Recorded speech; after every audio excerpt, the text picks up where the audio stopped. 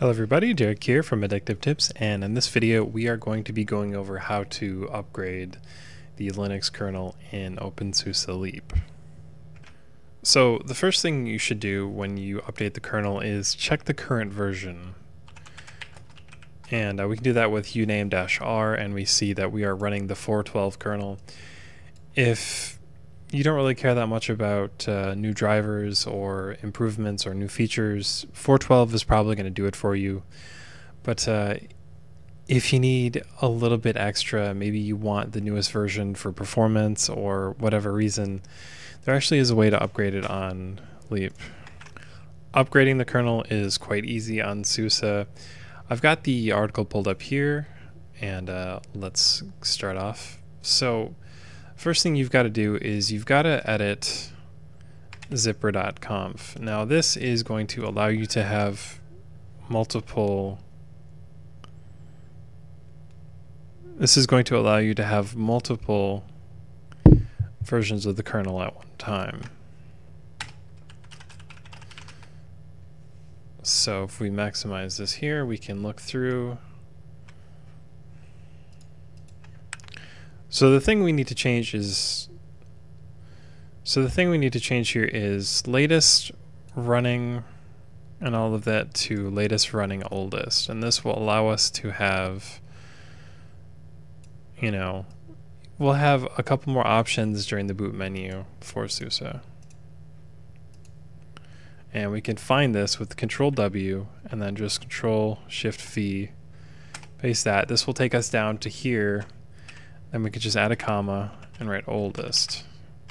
Control O, and then exit that out there, and then we're back to the terminal. We go back to the guide.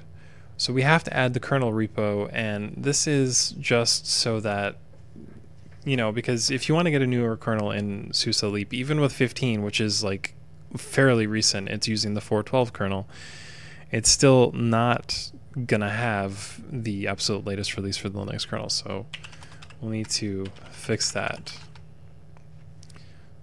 And uh, just take the repo here, add it to the system. It will refresh, and uh, this is only going to refresh the kernel. It's not going to upgrade the rest of the system, so we'll just be using newer versions of the kernel. Now we can go through and upgrade to the newest version of the kernel. And now this is going to give you the release candidates as well. It's just going to give you the absolute latest. But uh, the good thing is you can switch between these at any time. And uh, once you add this, you're going to have to accept the key. We can trust it temporarily. I would say trust it always because it is the official kernel repo. And uh, it's going to refresh the metadata. And uh, we can solve the problems that come up here.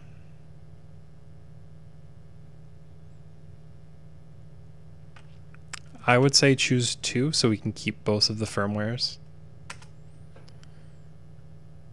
And just two, just choose these solutions to keep the other firmwares.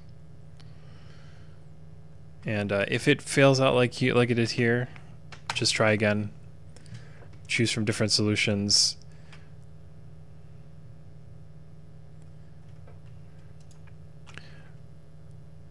So uh, I've gone through and I have chosen the number one option. After choosing number two, I was assuming that it would keep the obsolete code and let me uh, install both of them.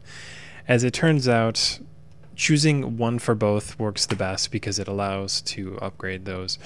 So we're going to grab the latest kernel firmware and we're going to upgrade the system. And this will be a quick process and uh, this will give Leap and this will give Leap a a solid kernel upgrade. Now, the reason that I like going this route is just because OpenSUSE Leap really is a solid distribution for those looking for enterprise grade stable software.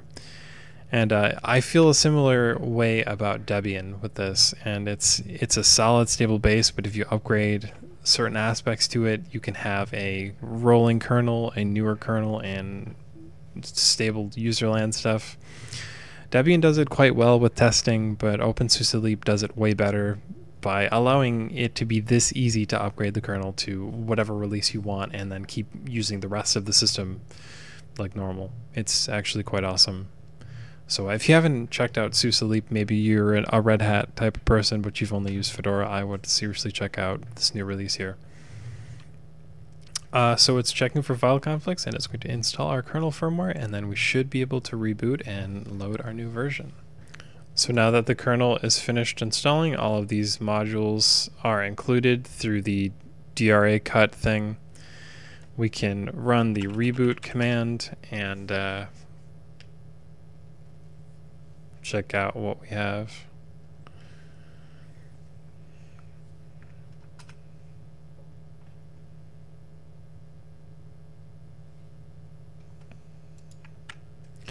So we're at the loading screen here, and as you can see, it's a, a, small little square, but we can see we are now loading 418 in OpenSUSE Leap.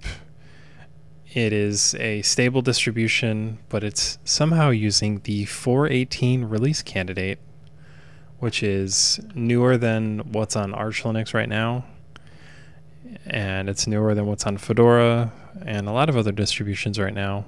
Uh, it's release candidate, so if you're running a testing distribution, I guess if you're running the testing version of things like Arch or Gentoo, you might have this too. But the reason that this is so cool is because, like I said earlier, you know, this is not supposed to be happening.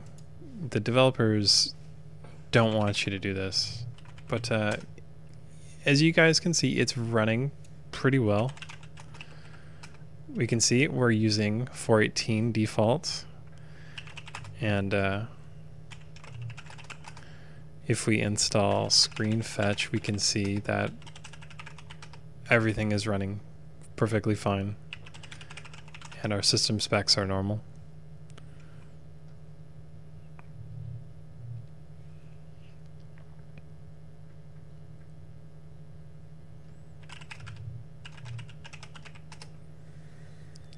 So yeah, kernel 418 default, uh, running just fine.